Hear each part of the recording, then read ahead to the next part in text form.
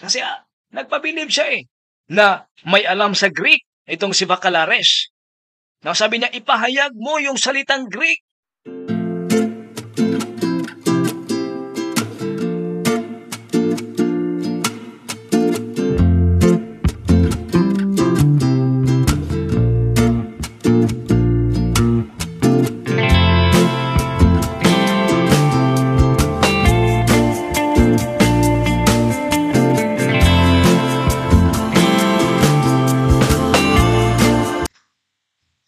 Mga kapatid at mga ka-fitball, kumusta? Magandang gabi po sa ating lahat.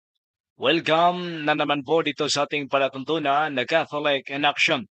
Ang inyong lingkod pa rin po ito si kapatid na Kenneth Bustamante, ang tatalagay sa isa namang topiko na ating pag-aralan sa gabing ito mga kapatid at mga kaibigan.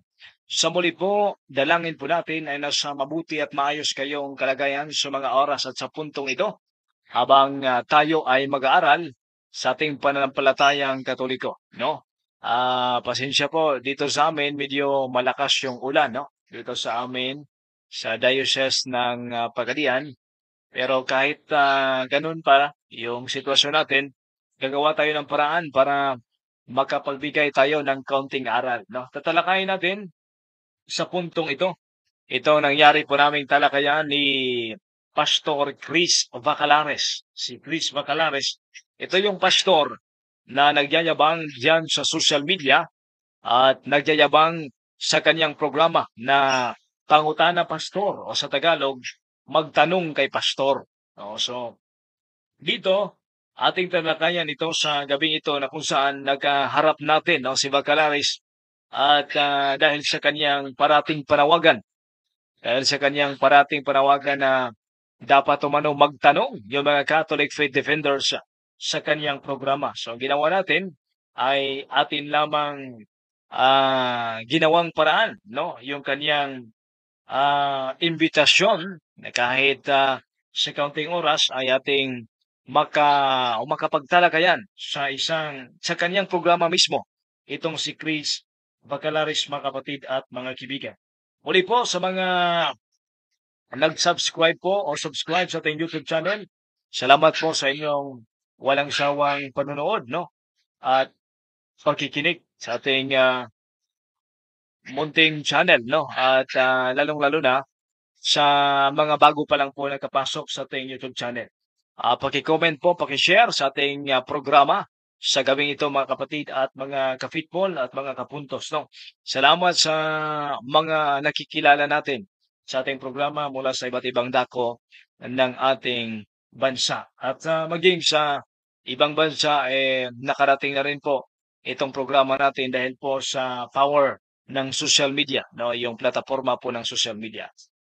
Ngayon, uh, ating ipaparinig at ipapakita sa inyo itong nangyaring talakayan sa amin ni Pastor Chris Bacalares kung saan uh, bugbog sarado sa tanungan porsyon itong si Chris Bacalares sapagkat ang kanyang programa mga kapatid at mga kibigan ay gusto niyang tanungin no gusto niyang uh, sagutin. Gusto niyang tanungin siya at sagutin niya yung lahat ng mga katanungan. Katanungan na ibabato sa kanya. So dito natin makita sa ating programa sa gabing ito kung ano yung taktika ng Seventh-day Adventist, no? At uh, ano yung kanilang paraan sa panluluko, no? Sa mga nakikinig at sa mga nagtatanong. Merong isang versyon na Biblia, no? Isang version ng Biblia na dala-dala ni Bacalares, ngunit takot siya nabuksan ito. No? Ano kayang Bibliang ito? Ano ba ang Bibliang ito na dala-dala parati ni Bacalares pero takot siya nabuksan ang naturang banal na kasulatan? Ang kanya kasing programa ay mapapakinggan ito bawat Huwebes at Martes. No, Huwebes at Martes. Sa panahong yaon, nakatawag tayo sa oras ng alas 5 ng hapon sa Martes at uh, dahil kapos at kinapos sa oras, sabi niya, agahan namin yung talakayan sa Huwebes. Ang nangyari nito, maaga akong tumawag sa Huwebes. Maaga akong tumawag sa Huwebes. Dahil ang programa niya alas 5 hanggang alas 6 ng hapon, tumawag ako sa Huwebes ng alas 5 ng hapon. Pero alam niyo ba, na sinagot ako ni Bacalares alas 5.30 na ng hapon. No? Alas 5.30 na ng hapon. Sinagot ako niya, yung tawag natin, sinagot niya. No? Kaya ito yung nangyari sa aming talakayan. May hapon, may hapon niya, Mr. Bacalaris, na Sabi ko, magandang ah, hapon sa iyo, kapatid na Bacalares. napanawag may balik, kay nato nakalabay Martes, matod ba nimo sayo sayo ta? Ah, tumawag ko ulit dahil ah, sabi mo na noong Martes ay dapat agahan yung aking pagtawag para malaki yung talakayan, para marami yung matalakay natin. Marada ko na Ay, naman kiniliyang panahon. So, sabi niya, ikaw pala yung tumawag sa nakaraang Martes. Ito yung sabi niya. Oh, yes, yes, uh, Mr. Bacalaris, ako to. So, sabi ko, yes, Mr. Bacalares, ako yung tumawag sa inyo sa nakaraang Martes. Dagang Nanawag salamat, po. Mr. ah, Questionable. Oh, sabi niya, maraming salamat, Mr. Questionable. No, ito yung taktika ng mga pastor, no? Ah, ganito ba talaga yung mga pastor ng Seventh-day Adventist, no? Atakahin agad ka ng personal, no, para mawala ka sa focus. Ito yung taktika nila, no? Paraan ba ito ng ma- maayos ba itong paraan o karapat-dapat ba itong sundin na dahil hindi mo kilala ang isang tao, sabihan mo na Mr. Questionable, ha? Parang ah, hindi yata ito tinuturoan ng kaunting good manners. No? Bisita tayo sa programa eh.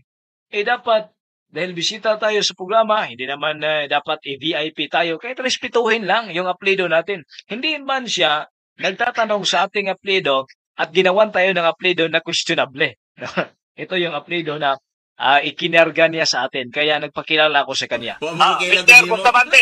Ah, Mr. Bustamante lang. Ah, boss Ah, tumawa pa si Bacalares. Ah, sabi sabi ko sa kanya, wag lang gamitin ang Mr. Questionable. Ang, ang gamitin mo lang ay Mr. Bustamante. Ante, dagang salamat, brother Ah. Bustamante. Sige, Ah. Gwaligson.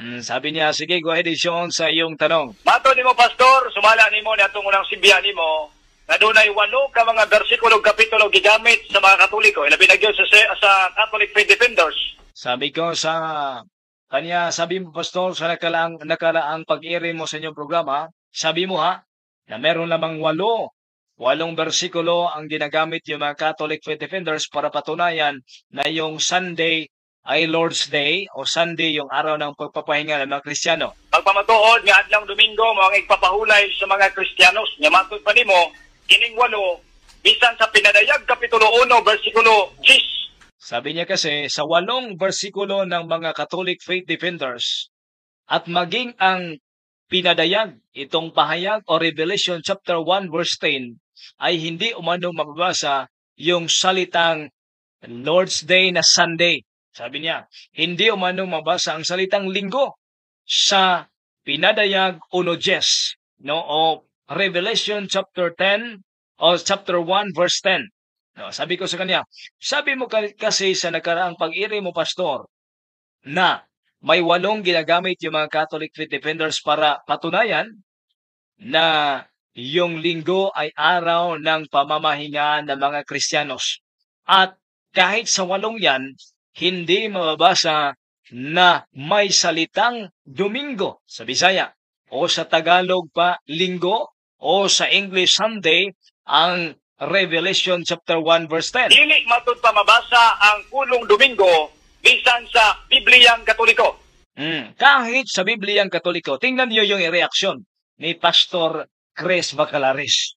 Tingnan niyo yung reaksyon. Ipalakihan natin yung mukha ni Chris Bacalaris sa kaniyang reaksyon sa naturang tanong. Kasi sabi niya, kahit sa aklat ng Katoliko o sa librong o sa Bibliyang Katoliko, hindi mababasa yung salitang Sunday o Domingo sa pinadayag o Jes.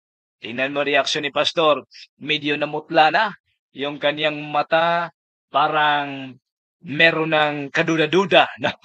yung kanyang mata sa naturang tanong mga kapatid at mga kibigan. So ngayon, pakinggan natin. Akong pangutana, barugan, bagyapo na ni mong maong baruganan? Sabi ko, tatayo ka pa rin ba sa naturang argumento, Mr. Bacalares, na sinabi mo sa nakaraang Martes? Tatayuan mo pa rin ba yung naturang argumento? Naway mabasa diha sa na walang mababasa sa pinadayag uno Jes kahit sa Bibliyang Katoliko na yan ay linggo o Domingo o Sunday. Ito yung sagot ni Bacalares. Kini niyang Bibliang Katoliko nga ang Domingo kanang pinadayag kuno Jess. Paliw kong tubag uh, uh, Bacalares. Oh, sabi ko sa kanya, please uh, answer Mr. Chris Bacalares. Okay, niyang tubag Mr. Bustamante. Oh, sabi niya, niyan tubag Mr. Bustamante. Oh. Kanina, questionable yung apelido ko. Ngayon naman, ang apelido ko ginawa niyang Bustamante. Oh. Ganito yung taktika ni Chris Bacalares, mga kapatid, para makuha yung audience no, na nanonood. Dahil sa tingin niya, eh, papasa ang kaniyang diskarte. Ngayon, pakinggan natin yung kaniyang sagot. Kategorikal yung tanong. Tatayuan mo pa rin ba ang naturang argumento na kahit sa Bibliang Katoliko yung chapter 1 verse 10 ng Revelation ay hindi mababasa ang salitang Sunday? Lusayop ka sa imong gisulti. Ah, sabi niya, nagkamali ka sa iyong sinasabi. Hmm. Sabi niya, hindi yung tanong. No? Hindi yun ang sagot sa naturang tanong. Ang tanong ko, tatayuan mo rin pa rin ba? Yes or no ang dapat isagot ni Bacalares. Sabi niya, yung sinabi ko ano ay mali. Therefore, mali pala yung unang pahayag mo sa nakarang partes. Ang akong gingon, adunay walo ra. Sabi niya, sabi niya, ang sinasabi ko, merong walo lamang. Walo lamang. ra. E din man gina ninyo madungagan. Sa Oh, dahil hindi umano yan, matatawag natin na madagdagan yung walong verse. Di yan totoo. Napakaraming verse sa Biblia na magpapatunay na Sunday ang araw ng pagpapahinga ng mga Kristiyano. Testament. Mabitan ninyo ko nga makadungag kay ikasiya mga tag kog 5 mil.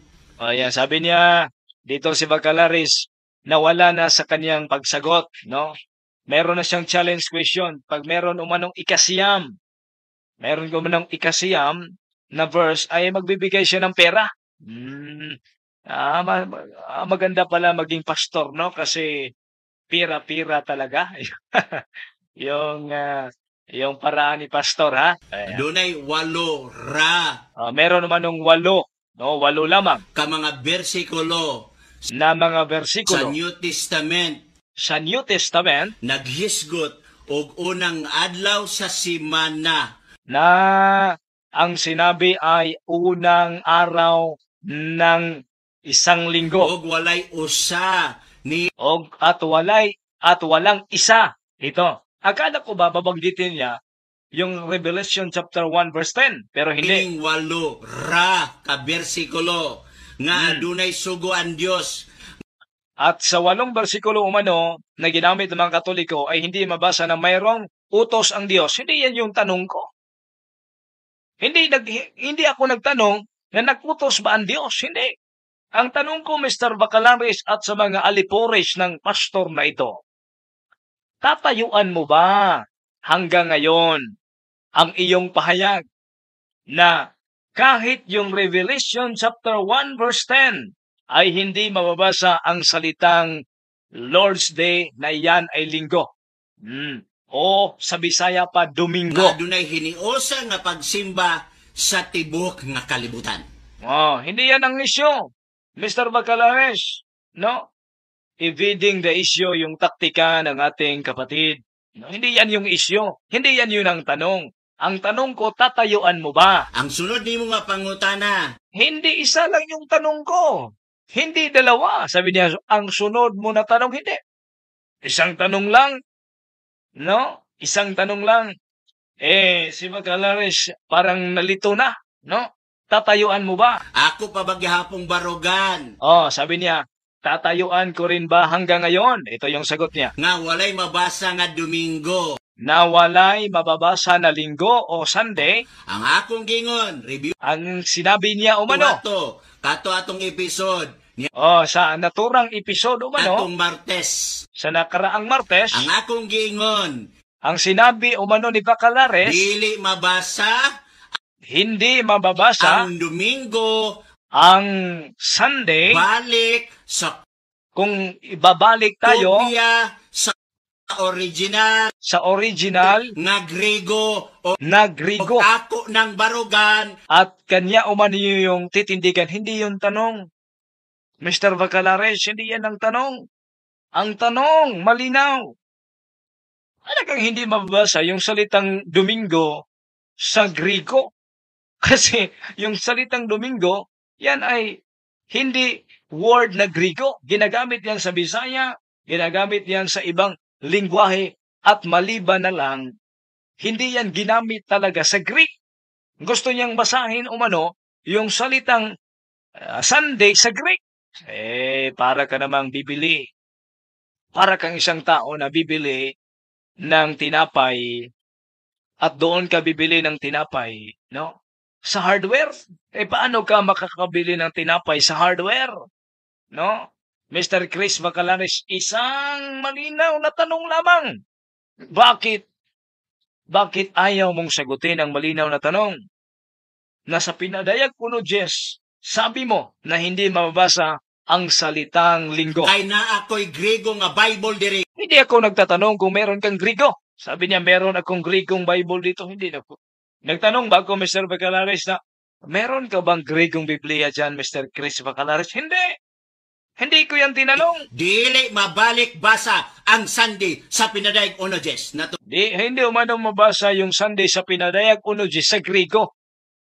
Sa unan niyang, sa unan niyang uh, episode, walang salitang Grigo. Ang sinabi niya. Pangalawa, hindi talaga mabasa yung salitang Sunday sa Grigo kasi yung Sunday English yan.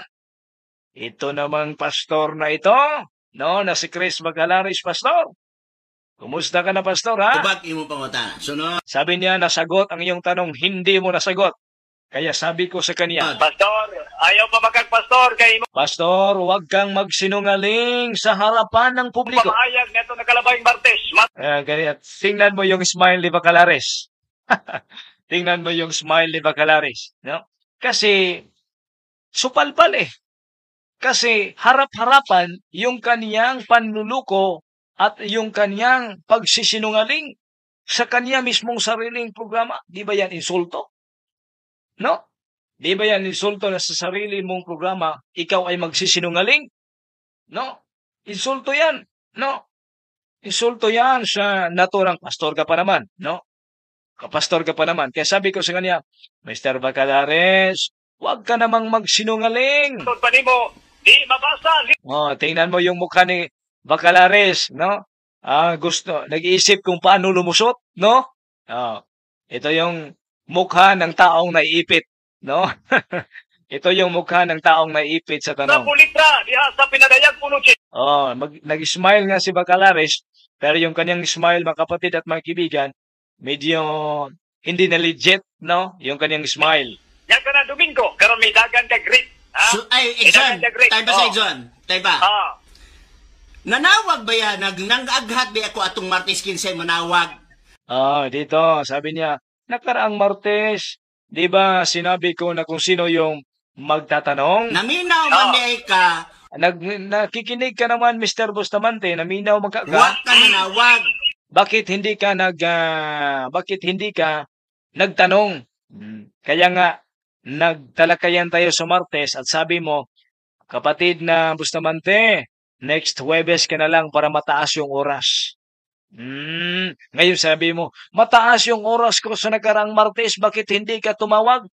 Ito talaga si Pastor Bacalaris, oh. No? Gusto talagang lumusot, no? Sabi mo sa nakarang Martes, sabi mo, ay, taw- tatawag ka sa next ah, Huwebes para malaki yung oras. Kasi wala tayong oras. Oh. Ngayon naman sinabi niya, malaki umano yung oras na sa Martes. Dito, magkapatid at magkibigan, kinontrol na nila ang audio, no?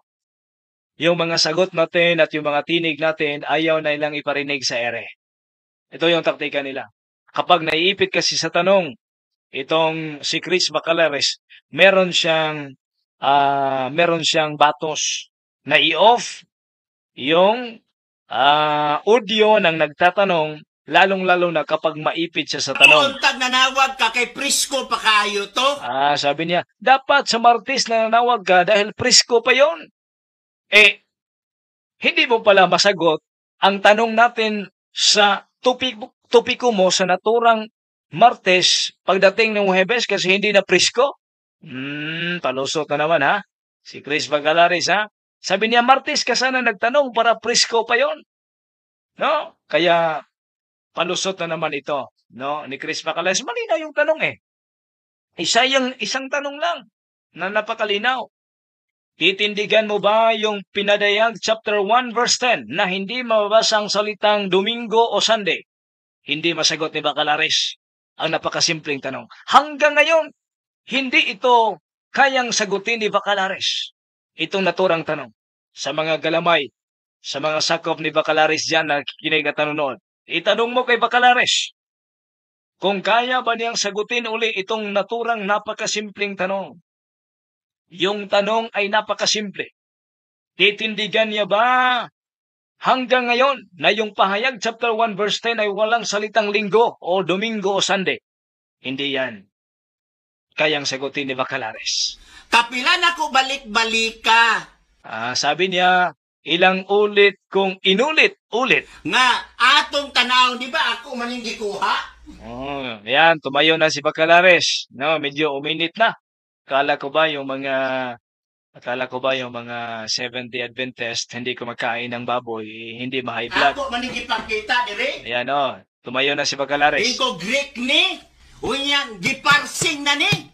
Unya, di ba nagpakita? Yan, hindi na ko makaka hindi hindi na marinig yung boses ko, no? Sa naturang part na yan, hindi na marinig yung boses ko. Kasi pinutol na nila yung linya natin. Kung ani, nga Greek. Unya, nagingon gani ko. Bis Ang ginawa niya dito, eh, nagpakitang gilas na meron siya maraming aklat. Kahit napakaraming aklat yung dala-dala mo, isang tanong nan, hindi mo, hindi mo masagot na napakarami pala yung aklat mo sa dyan. asa nga Greek nga manuscript, pwede kang Nisli Alan, kung nakaila ka Nisli Alan, Ah, hindi, wala na yan sa topiko. pwede usab sa Textus Receptus, Oh, hindi, wala yan sa topiko, yung tinatawag mong textos receptos. pwede usab sa minority text, di ba nagana ko? Ay, Ah, yan, yung kanyang taktika, nagpabilive yan. No? Nagpabilive yan sa kanyang mga supporters at viewers na marami siyang aklat at marami siyang alam. Pero ang simpleng tanong ay hindi niya kayang sagutin. lang putla. Kay nga ni Manggod, nakabalo na ko sa inyong teknik. Yan, yan. Personal na yan, no? Alam niyo ba, alam niya daw yung technique ng mga Catholic faith defenders. Namina mo de ka ato niya taas kay kung panahon, huwag ka nanawag. Na. Oh, sabi niya, nakinig ka nung Martes, bakit hindi ka tumawag? Hindi yan. Hindi yan totoo, Bacalares. Tumawag ako, pero pinutol mo kasi sabi mo sa Huwebes para malaki ang oras. Alas 5 ng hapon ako tumawag sa Huwebes, pero sinagot mo yung tawag ko alas 4.30 na ng hapon o alas ah, 5.30 na ng hapon. Mm. nanawag, nga din humana to. Okay? So, hindi talaga makakatayo sa kanyang hindi talaga makakatayo itong pastor na ito sa kanyang mga pinanalita o sinasabi. Okay, unsa may atong gikadlukan kung mabasa O sabi niya, ano, sa- ano ba yung kinakatatakutan natin? Ah, hindi ka pala takot ha? Sige. na sa Grigo. Sa ato pa, ang inyong doktrina, dili mabasa sa Confess Grigo? Hmm. Hindi naman Grigo yung Domingo. Hindi naman Grigo yung tinutukoy namin. Kaya dito, tinanong natin siya sa Grigo. Okay, ipahayag ang Grigo. Unsa may atong gikadlukan? Balik ka ni may... Ah, sabi niya, ipahayag ang Grigo. Sabi niya, ipahayag mo yung Grigo. Kaya sinakyan natin yung kanyang argumento na ipahayag yung Grigo. Mr. Bacalares, Ah, Mr. Bustamante. Sige. Sa pinadayag uno, Jess, nasayod ka ba ka ng himira o sa ka-equivocal Kasi ang nakasulat dyan sa pinadayag uh, Jess ay Himera. Sabi niya ipahayag yung Greek. Kaya ipinahayag natin yung Revelation chapter 1 verse 10 ay merong salitang Hemera. Kasi kasi nagpabilib siya eh na may alam sa Greek itong si Bacalares. Now sabi niya ipahayag mo yung salitang Greek kasi hindi niya ma, hindi niya masagot yung Bisaya na meron bang salitang Domingo o Linggo o Sunday sa pinadayag uno Diyos sa aklat o sa Bibliang Katoliko. Sabi niya, pumunta tayo sa Greek, ipahayag natin yung Greek. Ngayon, dito na tayo sa Greek. sa Grigo, tubag? Ang tubag, ang word nga himira, matog sa mga lexical nga nako diri. Oh, hindi na humarap sa kamera si Bacalares. Okay? Ang buot pasabutan ng himira, day, adlaw. Oh, yan. Sa, sa naturang aklat umano, yung salitang Hemera ay day. No, sa Greek, Tagalog, interlinear na kanyang ginamit. Sunod pangutana. So, tanong natin, yung salitang Hemera. Nasayod ka ba nga ka ng equivocal term na naa sa Grigo ng hi- hinira? Tubag, nasayod Oh, ay alam mo ba, Mr. Bacalares, na salitang Hemera ay equivocal term? Ang ginawa natin dito, kasi nagpabilib siya na marami siyang alam sa Greek. So, deny ba natin yung kanyang taktika? Sinabi ko sa kanya, alam mo ba na equivocal term yan? Yung salitang Koryake Hemera. Asa mo nababasa ang word nga equivocal term? Galit na galit na si Bacalares, no? Galit na galit na ito yung taong mukha ng galit, no? Oh, ito yung ganito para yung magagalit si Bacalares, ha? Dili sa Ah! mga Greek interlinear. Be, Ah, sabi niya saan mababasa yung salitang equivocal term? taga iko. Basahin ko So- sa word nga Sabi niya basahin mo. ang himera equivocal term. Asa mabasa? Ah, basahin mo yung salitang equivocal term sa Grigo na yung Hemera equivocal term. Mr. uh, Bacalares, ang imong Sabi ko naman sa kanya, Mr. Bacalares, programa, pangutana, pastor, kami parang nalimutan mo yung titulo ng programa mo ha. Kasi yung programang titulo mo, magtanong kay pastor. Ngayon, si pastor na ang nagtanong. Dapat yung programa mo na ang titulo ay magtanong kay pastor, eh, dapat palitan mo yan. Si pastor na ang magtanong. Kasi kapag maipit na, siya na yung magtatanong. Pero sabi niya, tumawag kayo. Mag-question kayo ng mga, mga Catholic faith defender sa akin. Ngayong meron ng dalawang tanong pa lang, naipit na si Chris Bacalares. Ang ginawa niya, ako nang magtatanong. Mandatory lang. ay ka pangutana. Kaya Okay. kami may pangutana. Okay. Oh, pero parang umiyak yata si Bacalares Ang dito. atong pangutana, kaya Teka, wa ka man baka, masayo, matibag sa ka lang ko. ay. Oh, yan, oh. Ang tanong natin, Mr. Bacalares.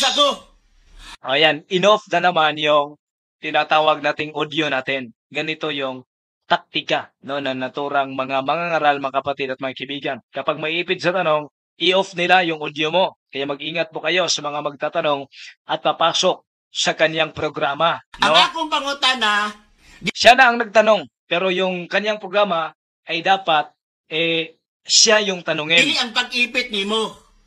Mm. Sabi niya, yung tanong ko naman, Brad Kenneth, eh hindi pang-ipit sa'yo. Akong pangutana is to clarify. Sabi niya, ang aking tanong is to clarify. Kay sometimes Ako rin, nag-clarify din ako. Kasi programa mo, magtanong ka, Pastor. Therefore, nag-clarify ako magbutbo na alam mo ba, itong Hemera ay equivocal term. mo og definition. O na, dinalagwar ko pwede mo, mo clarify anong definition. Kay klarong istorya, wa kay mabasa. Nga Mm, sabi niya, sa, sapagkat klarong-klaro na hindi mo mababasa diin, equivocal term, ang salitang equivocal ang term. himera, asa mabasa. Ang Hemera. Sabi niya, saan mababasa? Mr. Uh, Bacalares, Kaya sagot natin sa kanya. nasayod ka ba unsa ng equivocal term sa gitawag nato grammar? Sabi ko sa kanya, Mr. Bacalares, alam mo ba yung equivocal term? Parang galit na galit ka na. Wag. Nakabalo ko, pero di Ah, sabi niya, alam ko yun. mabasa Okay. sa interlinear. sabi niya, hindi, pero hindi yun mabasa. So nasayod ka nga equivocal term ng uh, kininiyang Grigo nga himera. Okay. No, so alam mo na equivocal term yan. ang equivocal term, why mabasa diha? Nga equivocal term. Ah, Alam niya na equivocal term pero hindi mabasa. Oh, sabi niya, Saturday, unya, Sunday, why Okay. mabasa diha? oh, na Saturday at Sunday. Sabi niya, hindi mo mabasa na Saturday at Sunday. kung mabasa nako diri Yan, dito sinakyan natin siya. Kung mabasa ko, Mr. sa Bacalares, Biblia nga protestante o sa Bibliang protestante mismo Biblia katoliko at sa Bibliang katoliko, Ingon nga kanang pinadayag uno Jes Domingo. Ang protestante nga Biblia o Biblia Katoliko, mangutana, uyunan ba ni dili? Oh, yan. Sabi ko sa kanya, para patas. Para patas. Basahin ko sa Bibliang Protestante, basahin ko rin sa Bibliang Katoliko na yung pinadayag uno Diyes. Ang sabi kasi dyan sa pinadayag uno Diyes, dito tayo sa Biblia na English, sa mga wala pong ah, ah, sa mga nakikinig po natin. Ang nakasabi kasi dito, sa pinadayag uno Diyes, ganito yung nakasulat. Ang I was caught up in the spirit of the Lord's day, and heard behind me a voice as loud as a trumpet. Lord's day, meron sinabi dito. I was caught up in spirit on Lord's day. Ang Lord's day, hindi umano ito linggo, sabi ni Bacalares. Kaya tanong natin, kung mamabasa ko na ang Lord's day, dyan sa Revelation chapter 1 verse 10, yung Lord's day na yan ay linggo. Sangayon ka? Hindi. Mutubag na ko. Sabi niya, sasagot ako. Dili na ko yunan, kay daan na ko nagpasabot. O sabi niya, hindi ako sangayon. Yan. Ito pala mga debater at mga pastor ng Seventh-day Adventist ay sang-ayon lamang sa mga gusto nila. Take note, Bibliang Protestante at yung Seventh-day Adventist ay isang protestante na yan ay isang protestante na sikta. Ah, mabasa po natin yan sa ating mga argumento na dala-dala itong aklat nila na Behold His Glory. Basa po natin dito ang pag-amin nila na sila ay kabilang sa mga protestante na simbahan. So, ang Bibliang protestante, ang Bibliang katoliko ay nagsabi na yung Lord's Day, yan ay salitang Lord's Day, yan ay linggo. Pero sabi ni Bacalaris, hindi siya maniniwala sa Biblia ng protestante at katoliko na gagamitin natin. Atong Martes, nga na'y mga bugos nga translation. Ayan, kasi bugos umano na translation. Hmm, itong taong igo, para itong taong ito na makabili lang ng Biblia, sabihin niya, bugos. E ang problema, mga kapatid, hindi man hindi naman nakagawa ng Biblia, wala namang participation yung kanilang simbahan sa paggawa ng Biblia, pero grabe yung pagsabi na bugos. Bakit bugos? Kasi hindi niya kayang tindigan ang kaniyang argumento, mga kapatid at mga kaibigan. Hindi niya kayang tindigan yung kaniyang argumento. Therefore, ang kaniyang palusot, bugos mano yung gagamitin natin na Biblia. O kanang bugos nga translation, dili mabalik, basa sa kopya sa original. Mm. Paano man naman bugos o man translation yung yung protestante. Therefore, wala kayong Biblia. Kasi yung ginamit nyo, Bibliang Katoliko at Bibliang Protestante. Pesag asa, mismo Nisli Alan, mismo Oo. gitawag Tistos Hindi na pala maniwala sa Biblia itong pastor na to. Bakit ba ito naging pastor? Eh, pipiliin lang pala yung nagkasulat sa Biblia. Receptos, di mabasa, mga Kasi nabuking na. Kasi nasupalpal na na yun palang pinagsasabi niya ay hindi katotohanan. No? Yun palang pinagsasabi niya, yun pala ay salungat sa anumang nakasulat sa Biblia. bugos ka nga term. So, ito umanong Biblia, basahin natin itong Biblia na New American Bible, sabi niya, bugos umano ito. Kasi sinabi nito, ang Sunday ay Lord's Day. Oh, sinabi dito. Maging protestanteng Biblia, no? Contemporary English version na Biblia, pinadayag uno Diyos, ang nakasulat pa rin dyan, Sunday. Bugos pa rin yon. No? Hindi pala naniwala ito sa Biblia, no? Itong naturang pastor, e igor, e tagabili lang ng Biblia, pero hindi naniwala sa Biblia. Next, no pamunta na. Ah, sabi niya, next question. Nakalaris, kinsa man nga Bible scholar ang gaingon. Yakan Sino ba? Sabi ko sa kanya, Mr. ang Bacalares, pinadayag unodis dili na Domingo. sino bang Bible scholar ang nagsabi na yung pinadayag uno Jess yan ay hindi linggo? Kinsa nga Bible scholar o ikaw ra? Tubag. Dili, gid ako. Kaya ni, wala sa ako ang burden of proof. Nasa Hmm, wala siyang maipakitang Bible scholar, scholar na nagsabi na yung pinadayag uno Jess ay hindi yan linggo. Therefore, hindi kayang tindigan ni Bacalaris ang kaniyang pinagsasabi sa kaniyang programa. Simpleng tanong. Ikatlong tanong. No? Ikatlong tanong pa lang to. Sabi ko sa kanya, Mr. Bacalares.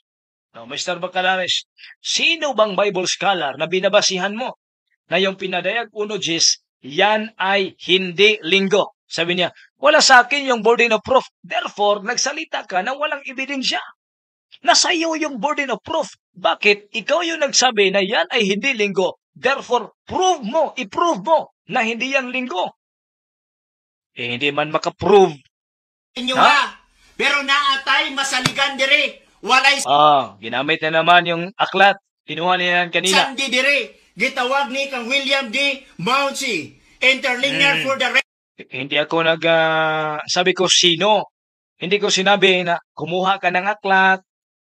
Sabi ko, sinong Bible scholar? Malusot na naman ito. Estupas, Gi parsing na tanan diri. O sa parsing diri, ato ipakita, walay Domingo diri. So sa Ah, sa naturang umano, walang Sunday. Therefore, sinong Bible scholar na nagsabi na hindi yan Sunday? Ato pa, kanang inyong gisaligan ng mga translation, iyan ang interpretation. Kay Mm, yun umanong interpretation natin ay sa sariling interpretasyon. Eh, sino ba yung may sariling interpretasyon dito? Tinatanong kita, sinong Bible scholar? Walang maibigay. Kahit isang tao na Bible scholar, istong si Chris Vacalares. Sugilan ko kamo, sa natad sa theology, adunay tulo, na ay gitawag og formal equivalency, Ay, yan. Nagpapasikat na naman. Sa theology umano, hindi ako nagtatanong sa theology eh. Chris Bacalares. Hoy, hindi ako nagtatanong sa theology. No? Ang tinatanong ko, sinong Bible scholar? Nagpapasikat ka na naman ha? Para ipakita na, ah, nag-aaral pa ito ng theology. Eh, bakit kung nag-aaral ka ng theology? Simpleng tanong lang, hindi mo matanong o masagot. Sinong Bible scholar?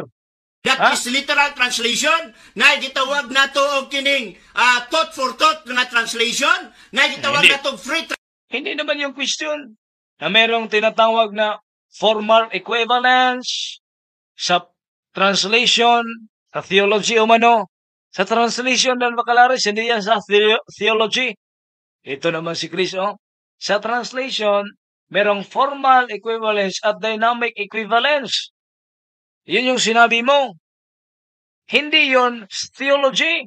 Ah, yun yung sa scripture na pag-translate, first-hand translation, merong ah, formal correspondence, at mga iba pang paraan. Nagpapasikat naman ito si Magalares. translation. Ang gihimo sa uban free translation, that Ang gihimo umano sa mga sa iba free translation. Ito pwede kang tatanungin dito. Saan mabasa na free translation yung ginawa sa ganitong mga uri ng Biblia? Hindi rin, hindi mo rin yan masagot. Kasi marami kang mga pinagsasabi bakalares na hindi mo kayang is tindigan. their interpretation. Dili mabasa, letra por letra, Ah, para sa kanila kasi litra por litra. Dito tayo sa litra por litra mo. dito balik sa Grigo nga Biblia. Ayan, dito Busa tayo sa litra gisaligan po, na litra sa mo. uban, labi na si Katolik, gitawag na to mga bugos nga mga Biblia. Ma- Bugos umano yung Biblia yung Catholic. Nakakatawa ito si Bacalares. Ano? Kasi kapag sa kapag basahin natin yung kanilang yung si Ellen G. White, no? Alam niyo ba na si Ellen G. White sa kaniyang pagsusulat, yung founder ng Seventh-day Adventist, kumuha sa kaniyang sulat sa librong katoliko o sa aklat, ay hindi aklat, o sa Bibliang katoliko. We can prove that. No, sa balang araw, ipapakita natin yan sa inyo na si Ellen G. White, yung kanya palang mga writings, sinulat sa Deuterocanonical books o Biblia ng Katoliko. Pero para sa kanya, yung translation umano ng Katoliko, bugos. Therefore, yung founder ninyo, si Ellen G. White, na nagsulat at nag-aral sa Deuterocanonical books, yung Sirach, yung ah, pitong aklat na hindi nyo tinatanggap, no? Tubit at iba pa, no? Yan ang ginamit ni Ellen G. White. Meron tayong pasabog dyan. Abang-abang na lang, Mr. Chris Bacalares. Pagkagani ako nga, balik ta sa Revelation 110, sa Grigo. Ah, balik umano tayo sa Revelation 1.10. Okay, babalik tayo sa Revelation 1.10. Balik ta sa Greek. Okay, balik tayo sa Revelation 1.10. So, Mr. Bacalares, huwag kay ikatugaan nga pangalan. Na ako'y gikatugan, Miss Sabi ko sa kanya, Mr. Bacalares, ah, ibig bang sabihin wala kang ipakitang pangalan ng Bible scholar na nagsabi na yung pinadayag uno Jes ay hindi linggo na Lord's Day yan. Yung Lord's Day na yan sa pinadayag uno Jes o Revelation chapter 1 verse 10, yan ay hindi linggo. Meron ka bang maipakita o wala kang maipakitang Bible scholar? Tawa, Bustamante, di lang ka. Ay, Di lang ka. Oh, sabi din, hindi pa tayo nag hindi pa tayo natapos sa pagtatanong, si Bacalares gumambala na. Hmm, di ba? Napakataas ng iyong porsyon sa pagsagot. Simpleng tanong lang, gumambala ka na? Simpleng tanong lang. Wala kang ibig mong sabihin, Bacalares, wala kang maipakita na Bible scholar na yung Revelation chapter 1 verse 10 ay hindi yan linggo. Ha? Gumambala na si Bacalares. Kaya sabi ko sa kanya, Mr. Bacalares, programa mo to. Oh, wag kang gagambala. Sa Bisaya pa, wag kang sumapaw. Dawat ka lagi, oh. Oh, oh. Bible kalan. Sabi, sabi ko, sinong Bible scholar? Yung ipinakita na, yung aklat. yung aklat yung ipinakita na. O yung hinahanap natin. Sino yung Bible scholar? Hindi masagot ni Pero Bacalares. sa, Nga dili, Domingo, kanang pinadaya kuno sis. ang imong pangutana, gitawag na siya og a fallacy. Okay, Ah, yan. Ang tanong umano natin, di ay fallacy. Hmm. Kanina lang siya nagsagot. Halos sinagot niya lahat ng tanong kasi ipit na ipit na. Sabi niya, yung tanong mo ay fallacy. Anong klaseng fallacy? Ha? Maraming fallacy sa debate. No? Akala ko ba, lahat ng tanong ay kayang sagutin ni Bacalaris in terms of pag-aaral sa Biblia. Pero sabi niya, yung tanong umano natin ay, ha? Ano yung tanong natin? Fallacy. Ano kayang klaseng fallacy? Pakinggan natin. gitawag na to kining nagbuot-buot kag pangutana nga Mer meron bang fallacy na nagbuot-buot og pangutana? ha? Wala yan sa fallacy eh. Wala yan sa fallacy, no? Oh, pinag-aralan natin yung iba't ibang fallacy. Merong fallacy na personal attack. Merong fallacy na misleading yung tanong. Sabi niya, yung fallacy o ano natin, buot-buot na pangutana o nagtatanong tayo ng iba't ibang tanong o nagtatanong tayo ng tanong na sarili nating tanong. Eh, hindi yan fallacy, Mr. Bacalaris. Kung susundan ka nito, ha, kung susundan ka dyan, saan mababasa? Sa role, sa argumentation and debate na yung buot-buot na pagtanong ay fallacy. Ha? Hindi mo yan, hindi mo yan mabasa, Mr. Bacalares, na saan mabasa sa roles ng argumentation and debate sa mga aklat na yung magtatanong na sarili niyang tanong ay maging fallacy. Yung tinanong naman natin ay mula sa yung bibig. Sabi mo, yung pinadayag uno, Jess, ay hindi yan linggo o Sunday. Yung Lord's Day dyan sa pinadayag uno, Jess, hindi yan Sunday. Tanong, sinong Bible scholar ang nagsabi na hindi yan Sunday? Walang may pakita. Si Chris Bacalares. Ha? Saan mabasa sa Biblia na yung pinadayag uno, Jess, ay hindi yan Sunday? Sabi niya, fallacy. wa pa gani na establish sa Greek. Kana bitong i-presume nga naa nga Sunday. Unya wala di ay busa Ah, yung fallacy umano natin, na-presume natin na yan ay Sunday, pero wala. Eh, sinabi natin kanina, Mr. Chris Bacalares, meron akong mabasa na pinadayag uno si Sunday yan. No? Sabi niya, bugos yan. Eh, nag-presume ako? Inilantad ko lang yung katotohanan. Ha? Inilantad ko yan, yung ano yung katotohanan na nakasulat.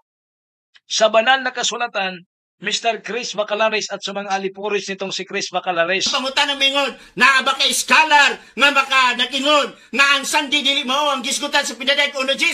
Mao na usa ka fallacy igsoon nga diing gibut-buutan nga pangutana. Wa pa mo ka-establish, dapat establish sa ay ha Fallacy umano yan kasi ay, hindi pa na-establish. Matagal ko nang na-establish. Kaya yung sabi ko sa kanya, ibutang ang pangutana ayaw i-presume. Sunod ka pangutana, ano lisod? Mr. Uh, ganihara ko, nag-establish, Mr. Uh. Siya ganihag oh, sabi ko sa kanya, Mr. Bacalares, kanina lang, kanina pa akong naka-establish. Kasi yung pinadayag ko no, Jis, sa Bibliang Katoliko, sa Bibliang Protestante, yan ay Sunday yung Lord's Day. Na-establish ko na yan. Pero sabi mo, hindi ka maniwala. Kaya sabi ko sa kanya, Mr. Chris Bacalares, kanina pa ako naka-establish. Ito yung reaksyon niya. Tapos mo maka-establish, nangutan naman ka. Ayan. Sa kanyang pagsagot kanina, hindi tayo gumambala. Nakikinig tayo sa kanyang mga sagot. Pero ngayon, kapag magtatanong tayo, hindi pa tayo makatapos sa pagtanong, yung si Bacalaris ay gugambala na. No? Si Bacalaris galit na galit na. Kahit hindi pa tayo natapos sa pagtatanong. Ay, Excuse me. Irabaw ka sa sa langit ng mananabaw. Sabi ko sa kanya, Mr. Chris Bacalares, sa Bisaya pa, ayaw panapaw. Sapagkat ayon sa banal na kasulatan, hindi makapunta sa langit yung mananapaw. Sa Biblia kasi yan. No? Hindi makapunta sa langit yung mananapaw. Excuse me, John, wa kay establish nangutan Oh, ito ito yung ah, ito yung nangyari ni Bacalares, no? Nasira yata yung araw ni Bacalares dito ha. Ha? Wala Ah. kay establish Inoff na niya yung cellphone. Hindi pa yung tapos ang tanong ha. hindi pa natapos yung pagtatanong, inoff na yung cellphone. Sabi kasi, imbis ako, no? Imbis ako, yung kanyang, ah, yung kanyang sabihan na, huwag kang manapaw, huwag kang gambala, kasi programa ko to, ang nangyari dito, siya na, no? Siya na ang nagpapahiya sa kanyang sariling programa. Please, nangutana ka. Ah, sabi niya, hindi ka naka-establish, nagtatanong ka. Hindi.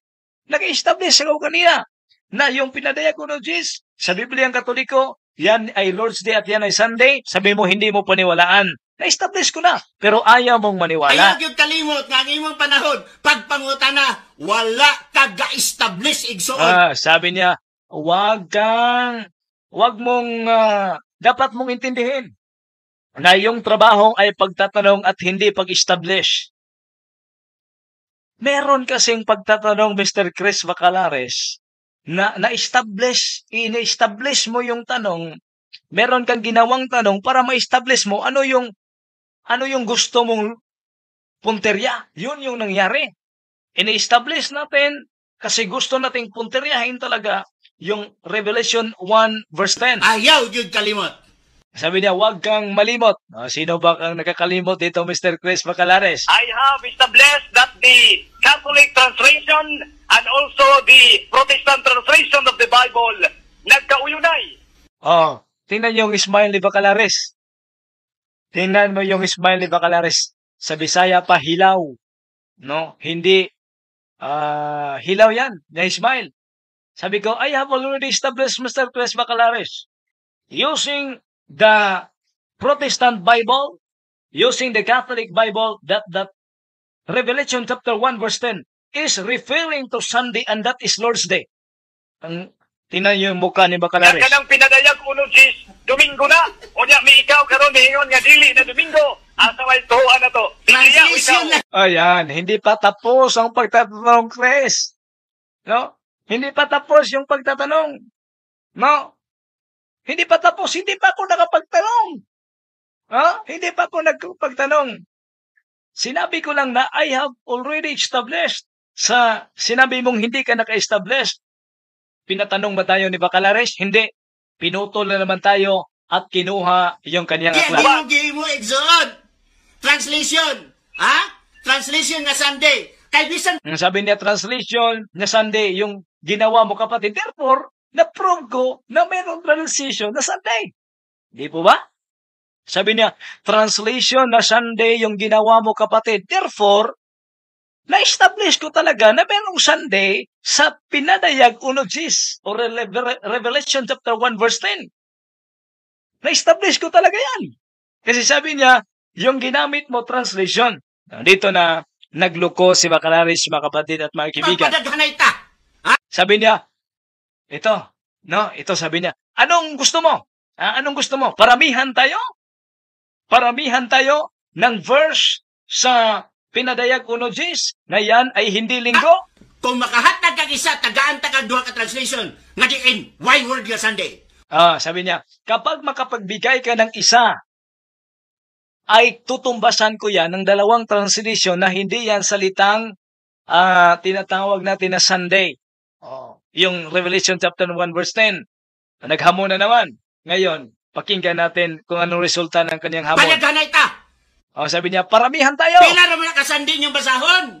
Pila, ilang Sunday lang yan ang inyong babasahin. Pero Therefore, aminado si Bacalares na merong mababasa sa pinadayag unojes na salitang Sunday. Pero sa kanyang naunang argumento, walang mababasa. Diyan sa Revelation chapter 1 na yan ay Sunday. Pero ngayon sa kanyang argumento, iilan lang umano yung mababasa na may salitang Sunday. Therefore, alam ni Bacalares na merong mababasa niyang Revelation chapter 1 verse 10 na Lord's Day o araw ng Panginoon, iyan ay Sunday. Pero hindi nila itinuturo sa kanilang mga sakop. Bakit kaya? Hana sa mga version nga nagisgot nga dili Sunday. Nga Marami umano siyang daladalang version na naghisgot o nagsabi na hindi Sunday. tungod kay bugos ang inyong ga, gisalig Dahil bugos umano yung tinatawag natin na dala-dala nating Biblia. Tunod pangutana ka ng lisod. Oh, sabi niya, sunod na tanong, Mr. Bustamante, yung mahirap na tanong. Ah, diha sa iwang gihuptan karon kasi mong kiliran ang gitawag na Biblia Espirituanong Katilingban. Yan, nakita ko kasi kay Bacalares na sa likurang bahagi niyan, meron ang Bibliang ito. Oh, ito. No? Bisaya ito, Biblia sa Kristohanong Katilingban. Yan ay merong Revelation chapter 1 verse 10. Ito ang Biblia na kinakatakutan ng mga SDA. Medyo sira na to. Bakit? Kasi sa lahat ng mga diskusyon, sa lahat ng mga Bible rally natin, dala-dala natin ito, uminit, umulan, o umaraw. No? Ano ba yung sinabi dito, mga kapatid at mga kaibigan, na dala-dala mismo ni Bacalares? Kasi anya, yung Bibliang Katoliko umano, yung bugos. No? Bugos umano yung Bibliang Katoliko. Pero diyan sa likod ni Bacalares, nandito ang Bibliang yan sa likod niya. Pakinggan natin ha, palakihan natin para makita niyo talaga na hindi ako gumagawa ng istorya. Mababasa talaga natin o makikita talaga natin sa kanyang likuran itong naturang Biblia. Nakabasa ka ba niya sa pinadayag unog 10? Oh, God! Yan! Kung makita mo dyan, itong, uh, lit, ay, itong mayroong color blue, and susunod yan, color yellow, no? Ito yung may larawan ni Santo Niño. Yan. Nakita na ni Chris Bacalaris yan. Nakita niya, no? Akala ko, kunin yan ni Bacalares. Kasi, meron siya sa naturang side na tiningnan ni Bacalares Andyan yung Bibliang daladala ko at meron din si Bacalares yan sa Revelation chapter 1 verse 10. Ano bang nakasulat dyan? Ha? Ano bang nakasulat dyan mga kapatid at mga kaibigan? Ngayon, tingnan natin kung kunin ba ito ni Bacalares. Nakita niyo ba? Pag-confirm nga yung mga ah, viewers natin. Nakita niyo ba ang klat na ang Bibliang ito? No? Ah, diyan sa kaniyang ah, mini library, ah, merong color blue. Kung mag-start tayo sa ah, sa left, merong color blue. At sa susunod ay color yellow. Yan yung Bibliang yan. Mga kapatid at mga. No? Nakita niyo ba yan? Akala ko ba, yan ay, ah, palakihan natin. Palakihan natin. Sorry ha. Palakihan natin. No? Take note, no? Na ang naturang Biblia na ipinakita natin sa inyo ay andyan sa likuran ni Bacalares. Kanina pa siya kumukuha ng mga aklat, kumukuha ng mga libro, kumukuha ng mga Biblia, mga kapatid at mga kaibigan. Ngunit, ayaw niyang kunin ang Bibliang ito. Ito. Ayaw niyang kunin ang Bibliang ito. Ah, bakit kaya ayaw niyang kunin ang Bibliang ito, mga kapatid at mga kaibigan? Nakita niyo ba yan? Yan sa kanyang library. Tiningnan niya, no? Tiningnan niya yung naturang ah, Biblia. Nagdalawang isip na kunin. Nagdalawang isip na kunin. Tingnan mo kung ano yung moves ni Bacalaris dito. kinini ang magla Yan. Yan. Yang Bibliang yan, yan ay kanya ng munting kunin. Oo. Ah, yan ang Biblia yan. Yan, nakita niyo, yo, yung Bibliang yan. Kunin niya na sana yan. Ng turang Biblia. No, kasi yung sinabi ko, Mr. Chris Bacalares, alam ko meron kang Biblia nito. Biblia Kristohanong Katilingban. Ha?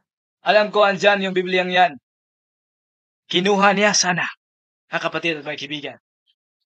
Kung makita nyo, nasa kanyang mga kamay na ang naturang Biblia. No? Nasa kanyang mga kamay na ang naturang Biblia. Pero takot na takot siya sa naturang Biblia. Takot na takot siya sa naturang Biblia.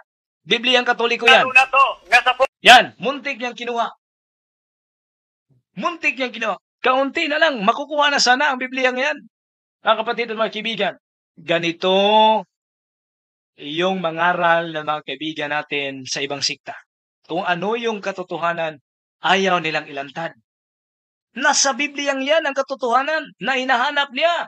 Yung Revelation chapter 1 verse 10, yan ba ay linggo o sabado? Andyan sa naturang Biblia, mga kapatid at mga kaibigan. Ngunit, hindi kinuha ni Bacalares. Tingnan mo yung reaksyon ni Bacalares. Nagdadalawang isip na kunin, hinawakan lamang niya yung naturang Biblia. Hinawakan niya yung naturang Biblia. No? Ang nangyari yan, mga kapatid, hindi yan kinuha ni Bacalares. Hindi yan kinuha ni Bacalares. Pakinggan at tingnan natin yung kanyang reaksyon. Not ka na Domingo, nabas. Yan, tingnan mo yung reaksyon ni Bacalares. No? Yun yung reaksyon ni Bacalares. Hindi niya kinuha yung naturang aklat. Bakit ano yung mabasa natin dito?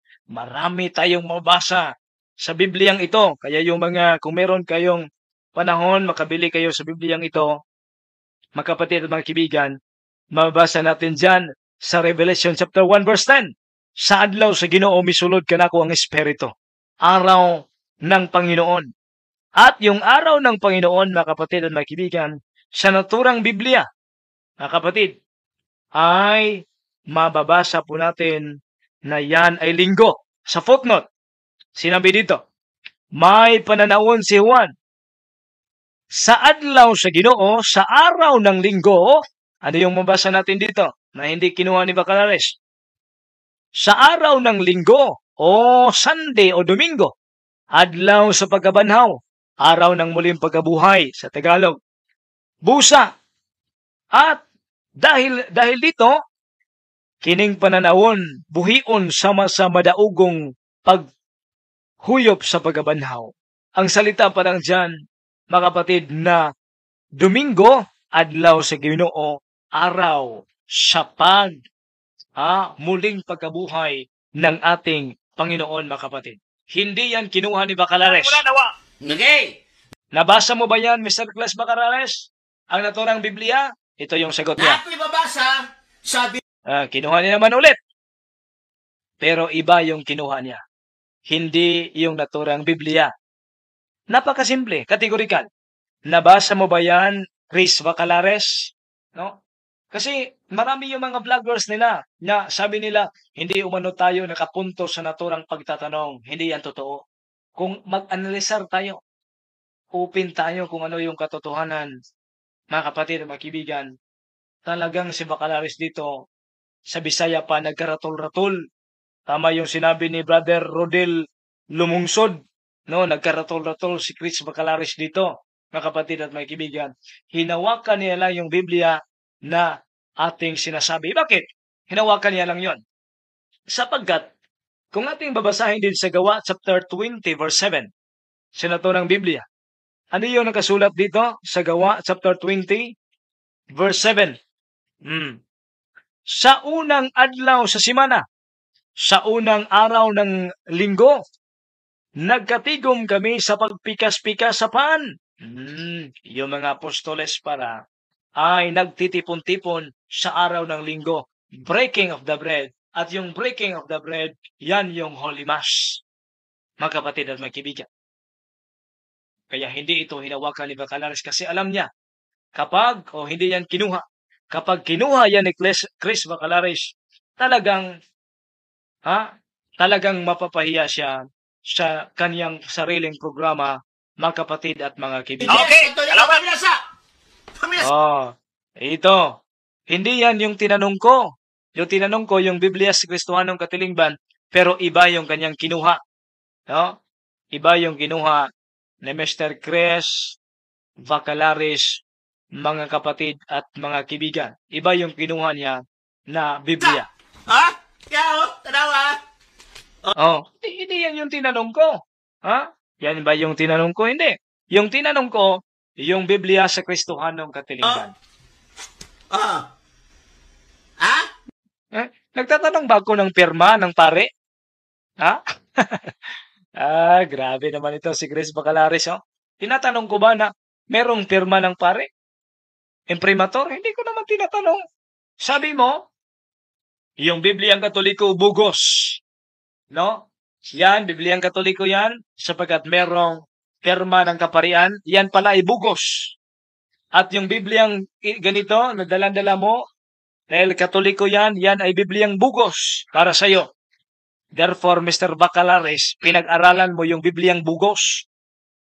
Bugos yung Biblia, pero mayroon kang daladalang Biblia. Therefore, ikaw, eh, meron ding Bibliang bugos. Ha? Kung makita natin, yan kapatid at mga kaibigan, yung taktika talaga nila ay hindi obra. No? Yung kanilang mga taktika, sa kanilang pangangaral. Social media pa naman, no? Dapat mahiya ito. Si social media ito nangyari. Dati mo basa? Okay. O sabi akong basahon dire, John? Ah. Sabi niya, ano yung babasahin ko dito, Mr. Chris Bacalares? Ang tinatanong ko, nabasa mo ba yung Revelation chapter 1 verse 10 na yan ay linggo sa Biblia sa Kristohanong Katilingba? Nabasa mo ba yan? No? Hindi niya sinagot ang naturang napakasimpleng tanong.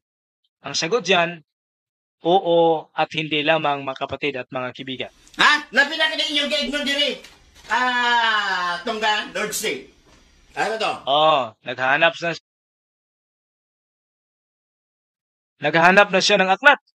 No, naghahanap na siya ng aklat. Hindi naman tayo nagutos na humanap ng aklat. Ang sinabi natin, nabasa mo ba? Mga kapatid at magkibigan, dito natin makita na nakaharap, no?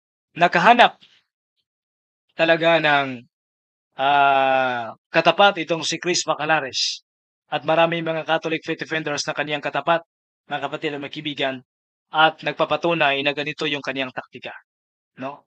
Kaya sa mga nakikinig sa atin, sa mga nanood, kayo lang ang husga, atin lamang binigyang linaw ang nangyari naming talakayan. At alam nyo ba, na sa pangyaring ito, ay pinutulan tayo ni Bacalares, pinutol niya yung linya natin, hindi pa umabot ng oras sa pagtatapos, pinutol niya at sa pagputol niya, tayo pa yung inakusahan na tayo umano yung namputol. At alam ng Diyos, alam ng Diyos ang tunay na pangyayari na tayo yung pinutulan ni Cres Bacalares sapagkat ayaw na niya na tayo ay magtatanong sa kanyang programa, mga kapatid at mga kibigan. No? So, yun.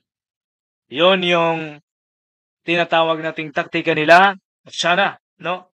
At sana ay ah, mahimasmasan yung mga nagbaba sa atin, lalong-lalo na yung mga batos ni Bacalares na ayaw lamang tumanggap, ayaw tumanggap sa tinatawag nating katotohanan at nangyari sa kanilang ah, sa nangyastor na si Cres. Bukas po ulit, ibang topiko naman po yung ating pag-aralan.